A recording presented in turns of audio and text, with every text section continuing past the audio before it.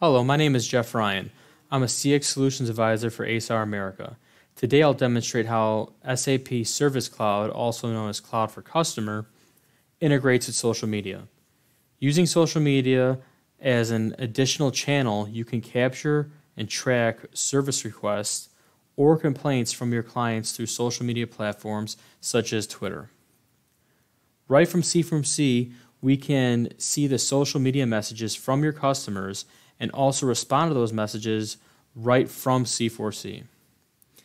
In this demo, I will show you how a customer submits a complaint from Twitter, and then we will respond to that customer right from our C4C social media interaction. We'll log onto my account, and we are currently let's say, for instance, I want to launch a complaint against one of the companies that we currently are following. This is Romeoville Steel Company, and I'm going to respond to them that I have not received my shipment.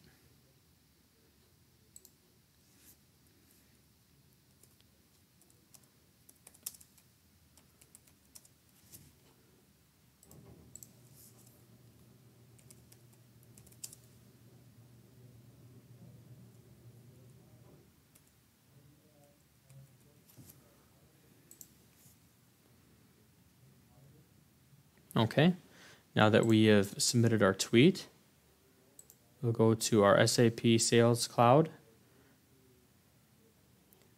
We now go to our tickets. We see that we have a new ticket that has just come in. It's from a social media source. Go to our social interactions. And we can see here the post I just posted to them saying I have not received this shipment. Now, from the comfort of our C4C platform, we could just state that we are working on it, resolving the client's current issue.